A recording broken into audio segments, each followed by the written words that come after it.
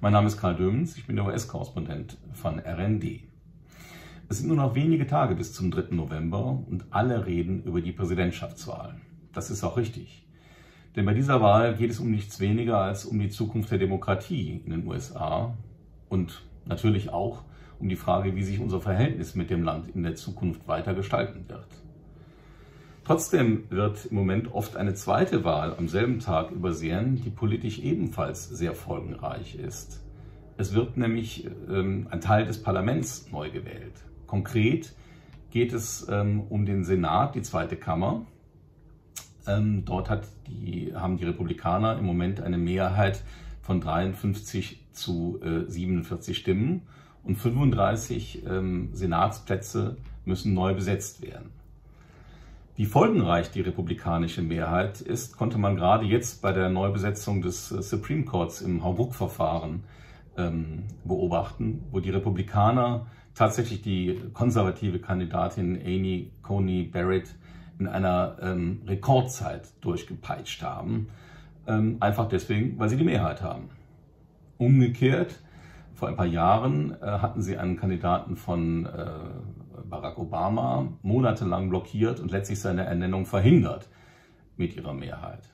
Es ist also schon sehr wichtig, wer im äh, Senat äh, das Sagen hat. Und wenn Joe Biden die Wahl gewinnt, dann wird davon sehr viel abhängen. Denn gegen die Republikaner kann er weder ein modernes Einwanderungsrecht noch eine ähm, striktere Klimapolitik noch eine Ausweitung der Krankenversicherung durchsetzen.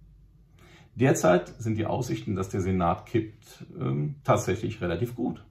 Selbst ähm, äh, Donald Trump hat neulich im kleinen Kreis hinter verschlossener Tür nach einem Bericht der Washington Post eingeräumt, dass es sehr schwer sein wird, die republikanische Mehrheit dort zu halten. Die Demokraten müssten netto drei Sitze hinzugewinnen. Dann hätte man zwar ein Patt, nur ein Patt, aber in diesem Fall gibt die Stimme des Vizepräsidenten oder der Vizepräsidentin, das wäre dann Kamala Harris, den Ausschlag. Diese drei Sitze zusammenzubekommen, erscheint möglich. Wenn man den Umfragen glaubt, dann ähm, ist ein Wechsel in Colorado und äh, Arizona äh, relativ sicher hin zu den Demokraten. Umgekehrt aber drohen sie den Sitz in Alabama, den sie erst 2018 gewonnen hatten, wieder zu verlieren. Das wäre netto nur ein Zugewinn von einem Sitz. Es fehlen also noch zwei. Da wandert der Blick nach Iowa, nach North Carolina und nach Maine. Überall dort liegen die demokratischen Bewerber in den Umfragen eben auch vorne. Ob das hält, muss sich noch zeigen. Aber auf jeden Fall lohnt es sich in den nächsten Wochen, ähm, bei den Umfragen nicht nur auf die klassischen Swing States, äh, Wisconsin, Pennsylvania, Ohio, Michigan und die neuen Battleground States, Florida und Arizona, vielleicht sogar Georgia, für die Präsidentschaftswahl zu gucken, sondern eben auch auf die Staaten, wo die Senatorensitze umkämpft sind, also Iowa, North Carolina und Maine. Zuletzt haben die Demokraten im Weißen Haus, im Repräsentantenhaus und im Senat äh, zusammen überall eine Mehrheit gehabt in den ersten beiden Obama-Jahren.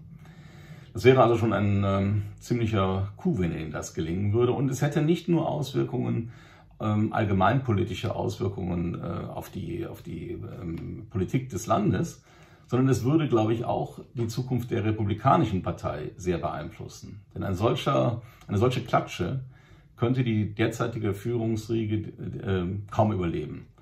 Ähm, wenn die Republikaner den Senat verlieren, gehen alle davon aus, dass damit die letzten äh, Trumpianer in der Partei sozusagen auch abgesägt werden.